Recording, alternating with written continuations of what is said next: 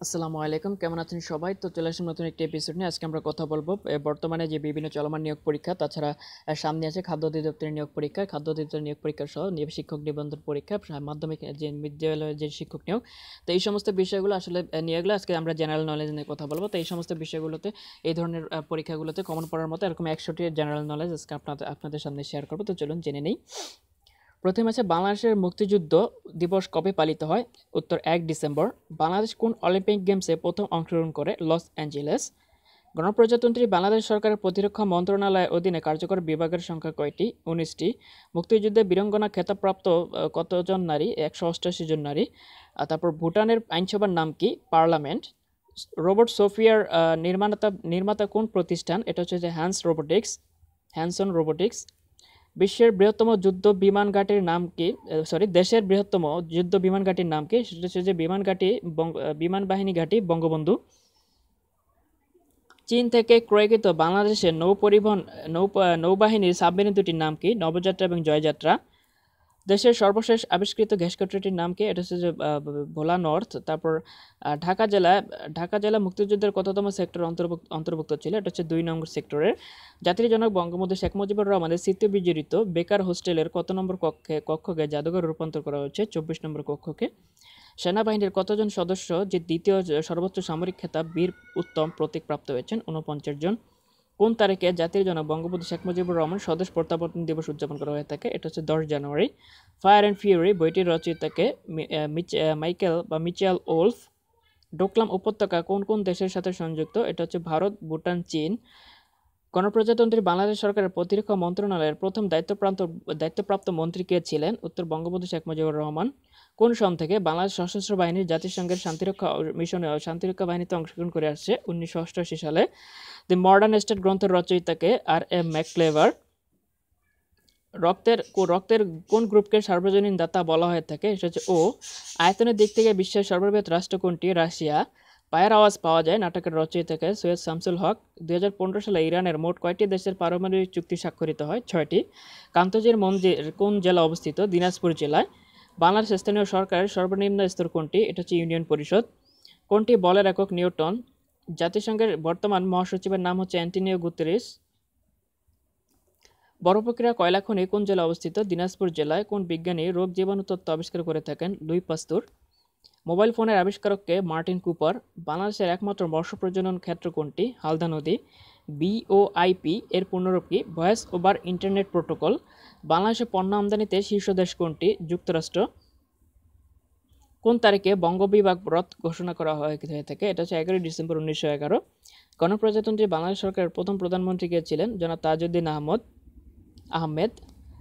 বাংলাদেশের তৃতীয় সমুদ্র বন্দর কোন জেলা অবস্থিত? পটুয়াখালী জেলায় তারপর আইফেল টাওয়ার কোন শহর অবস্থিত? প্যারিস শহরে। বাংলাদেশের অস্ত্র কারখানা কোথাও অবস্থিত? গাজীপুর অস্ত্র গাজীপুর অবস্থিত। বাংলাদেশের মহামান্য রাষ্ট্রপতি সরকারি বাস- মহামান্য রাষ্ট্রপতির সরকারি বাসভবনের নাম কি? বঙ্গভবন। রূপপুর পারমাণবিক বিদ্যুৎ কেন্দ্রের ইউনিট এট একের এর উৎপাদন ক্ষমতা কত? বারোশো মেগাওয়াট। গণপ্রজাতন্ত্রী বাংলাদেশ সংবিধানের মূলনীতি কয়টি? চারটি। জাতিসংঘ কোন সালে প্রতিষ্ঠিত হয়? উনিশশো পঁয়তাল্লিশ সালে। তামার সাথে কোন ধাতুর সংকরণে ব্রোঞ্জ উৎপন্ন হয়? টিন উত্তর গণভবন কোন জেলা অবস্থিত? নাটোরে। কোনটি মাল্টিমিডিয়া সফটওয়্যার? এটা হচ্ছে যে এমএস পাওয়ার পয়েন্ট কোন দেশকে নিশ্চিত সূর্যের দেশ বলা হয়? নরওয়ে। সেভেন সিস্টার্স কোন দেশে অবস্থিত? ভারত। কোনটি বাংলাদেশের একটি রামসার সাইট? এটা হচ্ছে টাঙ্গুয়ার হাওর। স্বাধীনতা যুদ্ধের অবদানের জন্য কতজন মহিলাকে বীর প্রতীক উপাধিতে ভূষিত করা হয়েছিল? এটা হচ্ছে দুইজন। পৃথিবীর একমাত্র উপগ্রহ কোনটি? চন্দ্র। বঙ্গবন্ধু শেখ মুজিবুর গ্রন্থের রচয়িতাকে মজহারুল ইসলাম। ইউনেস্কোর সদর দপ্তর কোথাও অবস্থিত? প্যারিসে।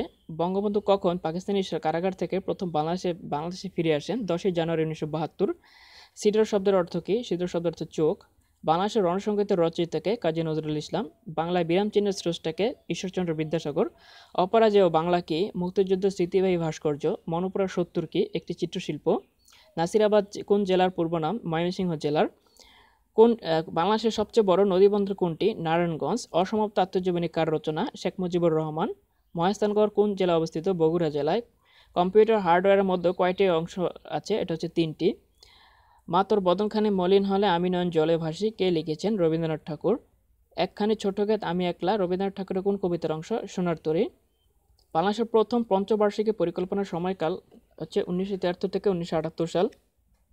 বিশ্বের প্রথম মহিলা প্রধানমন্ত্রীকে সীমা বন্দরনায়ক মুজিবনগর কোন জেলা অবস্থিত? মেহেরপুর জেলা। বয়লার বা কেটলির তলায় কিসের স্তর পরে ক্যালসিয়াম কার্বনেট। নিচের কোনটি পানি দূষণের প্রাকৃতিক কারণ? ভূগর্ভস্থ আর্সেনিক। এক সাগর রক্তের বিনিময়ে বাংলার স্বাধীনতা আনলো যারা। কে লিখেছেন? গোবিন্দ হালদার। প্রথম বাংলাদেশি এভারেস্ট জয়কে মুসা ইব্রাহিম। জাতিসংঘের নিরাপত্তা পরিষদের সদস্য কত? পনেরো জন। নিউমিনিয়া রোগ কোন দেশে আক্রান্ত হয়ে থাকে? ফুসফুস। কাঁদতে আসেনি, ফাঁসির দাবি নিয়ে এসেছি। কবিতাটির রচয়িতাকে মাহবুবুল আলম। বান্ন এর ভাষা আন্দোলনের সময় ঢাকা বিশ্ববিদ্যালয়ের ভাইস চ্যান্সেলর কে ছিলেন? ডক্টর সৈয়দ মোয়াজ্জেম হোসেন।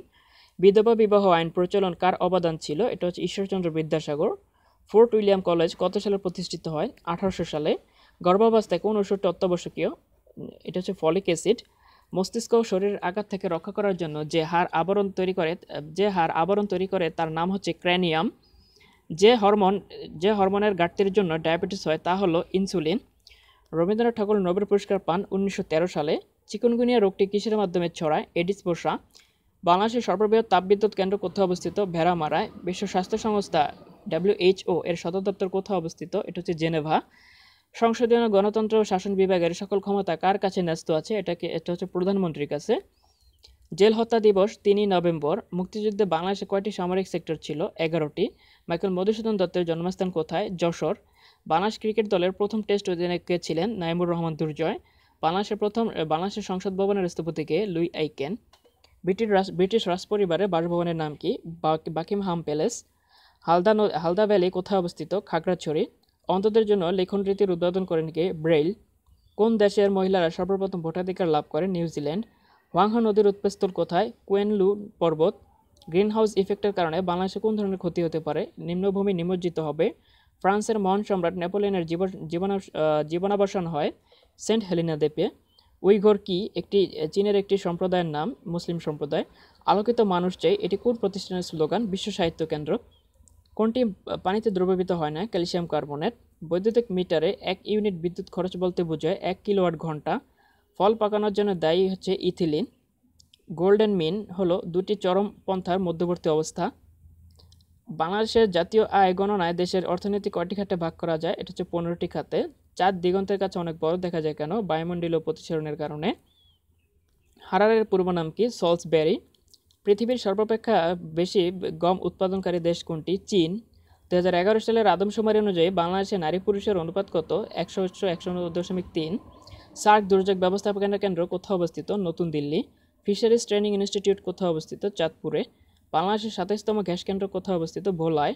উনিশশো চুয়ান্ন সালের সাধারণ নির্বাচনে যুক্ত যুক্তফ্রন্টের নির্বাচনী স্থায়ীরা কয়টি দফা ছিল? একুশটি দফা ছিল। তো এই ছিল কিছু গুরুত্বপূর্ণ সাধারণ জ্ঞান, যেগুলো আসলে বর্তমানে পরীক্ষা আসার মতো বা অনেক পরীক্ষা এগুলো থেকে কমন পড়ে এবং বিগত সালে এসেছিল।